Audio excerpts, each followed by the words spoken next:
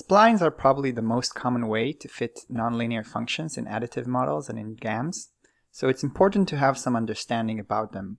And this is exactly what we'll do in this video, which will be divided into two parts. And after that, we'll see how to fit GAMs that use splines or any other basis expansion. Note that splines are also used in the context of computer graphics to draw objects, but this video will focus on their use as smooth function approximators. In the end of the second part, I will mention briefly how the two approaches relate to each other, but if you're coming for the computer graphics stuff, you might want to search for some more specific material. So, in the last video, we mentioned that instead of a linear function in x, we want to model the relationship between y and x in a more complex way. We mentioned several ways we can do this. In this video, we will focus on basis functions. We will start with the basic polynomials, but then move on to splines. There are also other basis functions we can use like Fourier and wavelet, but they will be the topic of a future video. Basis functions mean we expand x to some feature space phi of x. Notice that even if we do this, the regression problem is still linear in coefficients. So we move from the regular x design matrix to this expanded phi matrix with all the different features we use. We therefore move from this linear x times beta to this nonlinear phi of x times beta. We can continue regularly, do OLS, and get the solution in terms of phi of x.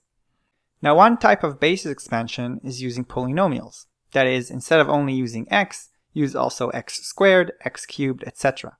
Normally, we will use orthogonal polynomials to avoid multicollinearity issues. The pro of using this method is that polynomials are very smooth functions.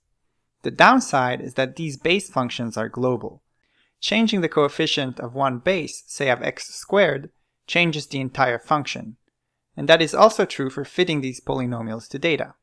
Changing a data point on one side of the scatter plot can affect the function in another side.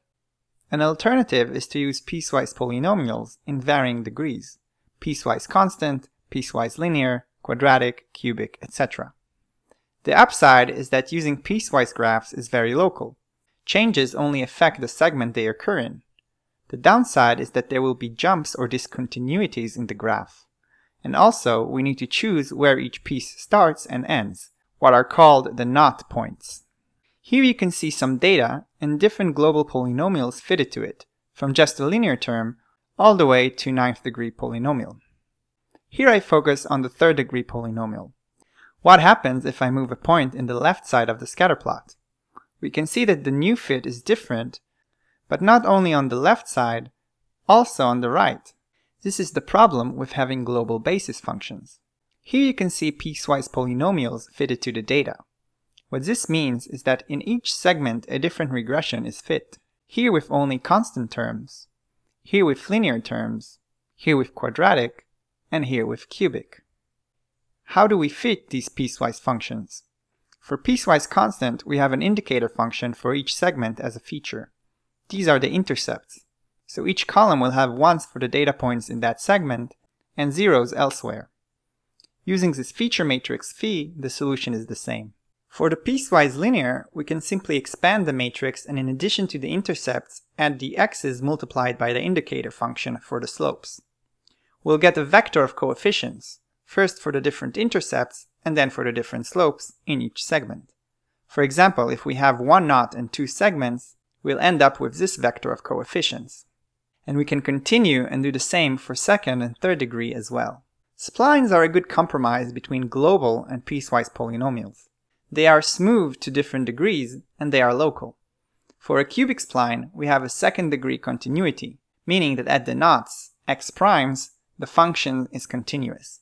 And also, the first and second derivative are continuous. We use the minus and plus symbols to indicate left and right of the point, because this is where the function changes. We should realize that the f function consists of two piecewise polynomial functions that are joined at the knot, and so we can write it like this. Now, why can't we ask that the third derivative be continuous? Because if we do this, we are back to a global cubic polynomial, as you can see from this derivation here. Here is how a linear spline with three knots looks like. It has zero continuity, meaning the function is continuous, but its derivatives are not. This is how a quadratic spline looks like. And this is how a cubic one looks like. Because of the continuity constraints, There is a simple way to write splines algebraically. For every knot, we can add the following term, which is equal to x minus x prime if x is greater than x prime, and 0 otherwise. This makes sense because we're essentially telling the function it can change direction at every knot location. These extra knot terms are sort of levers we can pull and push to change how the function acts past the knot value. Here is a demonstration of this. So, for a linear spline with one knot, we simply add this extra term to the phi matrix. Notice the difference. In piecewise linear, we needed four columns, two for the different intercepts and two for the different slopes. Here we only need three. This is because of the one constraint we imposed, that the two lines must meet at the knot. So whatever alpha 0, alpha 1, and beta 1 we choose, beta 0 will be determined because the two graphs must meet at the knot intersection. Once we fit the model, we get the coefficients. If we reparameterize beta 1 as follows, we get that the two different functions are these, where we can call this beta 0. This is true for higher order splines as well. For example, for a quadratic spline with one knot, we will have the following basis expansion. Notice that here, since we have two constraints, we will have two restricted parameters and only four free parameters. This also generalizes to more knots. For example, this is the matrix for a degree d polynomial with two knots. We add all the regular polynomial terms and then the knot terms with degree d.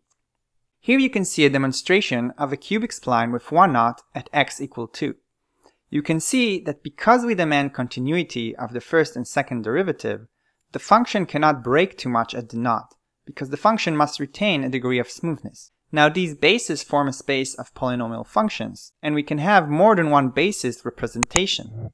Some of these representations might be more beneficial. What we've seen so far is called the truncated power series basis, and is the simplest conceptually. The important thing to remember is that no matter the basis, once we have these expanded features, we can write f like this. Now, how do we choose the knots? First, how many knots do we use? The more knots, the more flexibility the function has, but the higher risk of overfitting. We can compare different models with different number of knots and choose the best one. Second, where do we place the knots? Two common options are equidistant, meaning equally spaced in the x domain, like this, and quantile spaced, meaning placed according to the quantiles of the data distribution, say 20%, 40%, 60%, and 80%. When we choose the knots, this is often referred to as regression splines, as opposed to smoothing splines, which we will see in a bit. See you in part 2.